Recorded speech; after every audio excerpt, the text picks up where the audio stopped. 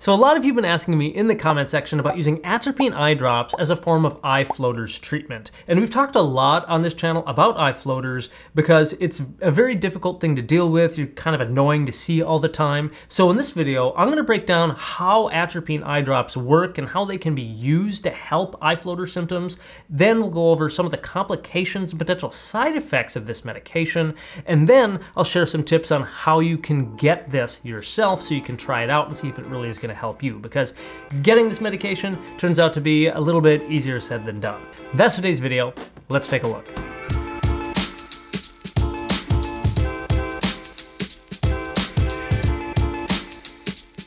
Hey, welcome back. This is Dr. Allen here from the Dr. Eye Health Show. And on this channel, we do a lot of education around eye diseases, their treatments, as well as helping people find the best vision products so that you can keep seeing your very best. If that's something that interests you, then consider hitting the subscribe button down below, ring the bell so that you don't miss any of our future videos.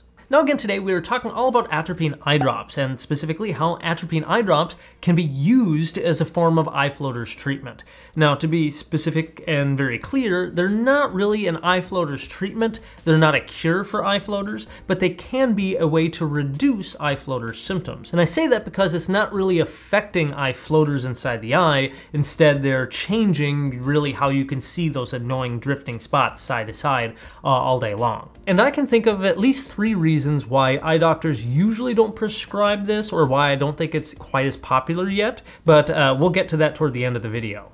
But in general, atropine eye drops work by affecting your parasympathetic nervous system, and this causes your pupils to dilate really big. And this is important in the eye clinic because we can utilize these drops to really open up the eye and allow your eye doctor to look inside, detect different diseases that could, go, could be going on, and to even help relax the eye muscle inside the eye called the ciliary body so that we can get a more accurate prescription, especially when considering doing eye surgeries or anything like that. But usually eye doctors don't use atropine in the eye clinics very often anymore because 1% atropine is incredibly strong, and if your eye doctor did put that in your eye, they probably didn't like you because that makes your pupil dilated for like an entire week. Usually in the clinic now we use derivative forms of these eye drops called tropicamide or another one called cyclopentolate because they only work for a few short hours at a time and they usually achieve uh, a, a, enough of a desired clinical effect to get our job done. However, atropine eye drops are still prescribed as an alternative to patching therapy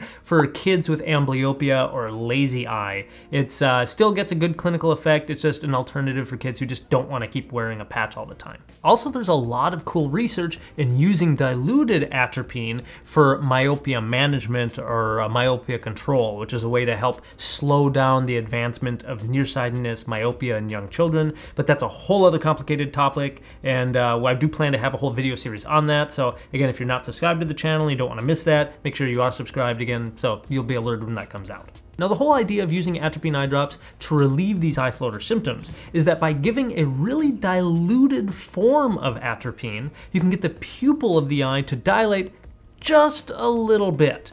Just enough to help relieve symptoms without causing nasty side effects. The whole idea of how this is supposed to work is that you have these eye floaters, which are suspended in the vitreous humor inside the back of the eye. And then all the light which you are seeing around you day to day, that's casting that image onto the retina, but the floaters get in the way, and so they cast a shadow onto the retina, and that's why you're seeing those squiggly lines move back and forth. I know it's funny to hear how some people say eh, it looks like either small worms or it looks like little bacteria or parasites swimming around. I always think that's great to hear. Mainly because I myself have had those same thoughts, especially as a young kid. I was like, what are these things I'm seeing around here? I even thought sometimes it was just my contact lens being dirty and things like that. But the idea of using the atropine, especially at a low concentration, it would allow your pupil to dilate just enough so that you let in a little bit more light, which will disperse the shadow and making it not so concentrated into one spot so you don't see the floaters as easily.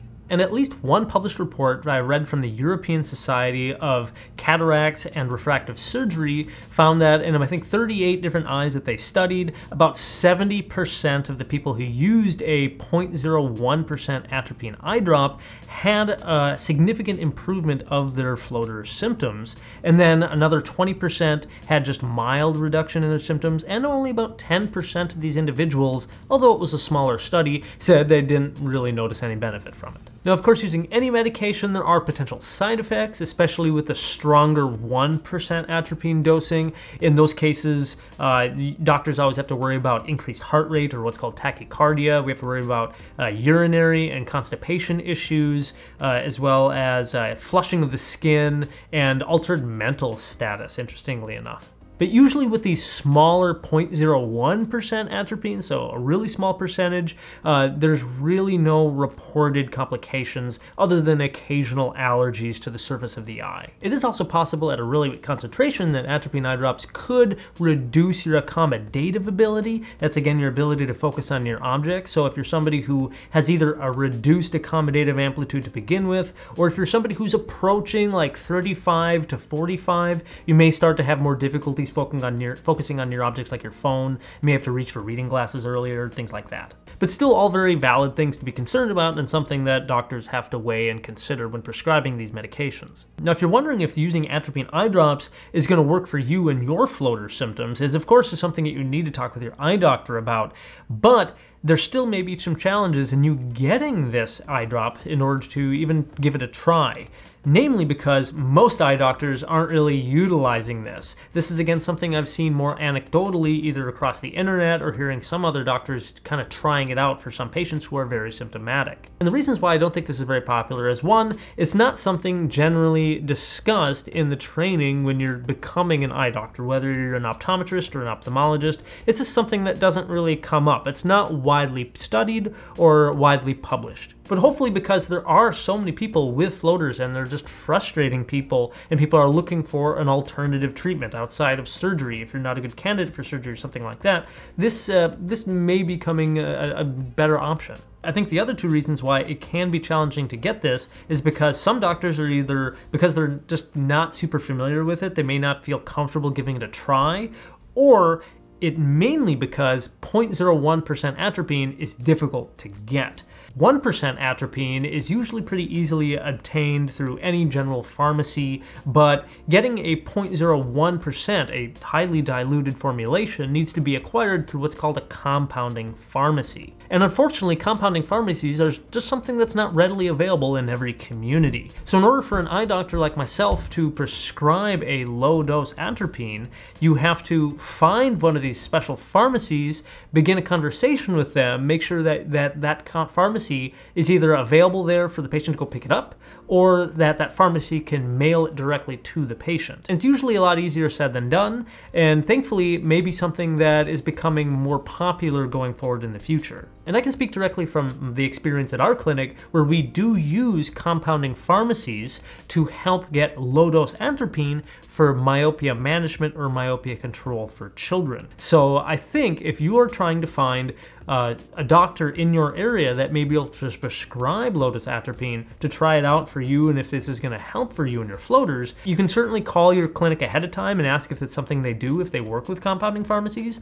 But chances are, if your clinic does myopia control or myopia management for young kids, they likely will have access to a compounding pharmacy to get low-dose atropine.